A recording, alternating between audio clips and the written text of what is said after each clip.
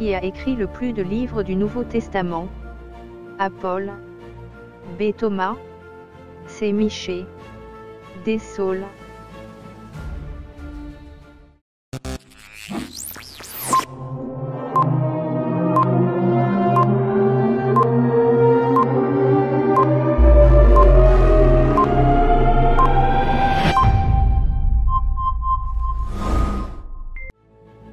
La réponse est Paul.